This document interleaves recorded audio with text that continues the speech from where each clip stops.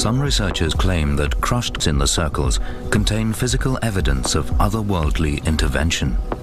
Now, this is a node, and it's these knuckles you get on wheat barley plants. Now, what they've found in many formations is that that node seems to be lengthened, you know, literally elongated in the plants that have been laid down. Whilst acknowledging some formations are man-made, Dutch physicist Dr. Eltjo Haselhoff believes there's a link between elongated nodes and balls of light the hypothesis was that the node lengthening was caused by electromagnetic energy.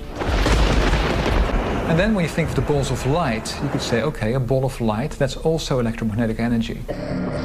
For Dr. Haselhoff, balls of light emit electromagnetic radiation, which rapidly flattens the crop. The theory is that this radiation causes the nodes of the plants to elongate.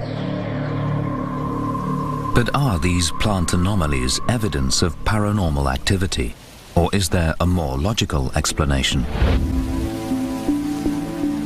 Dr. Debbie Sparkes is Associate Professor in Agronomy at the University of Nottingham.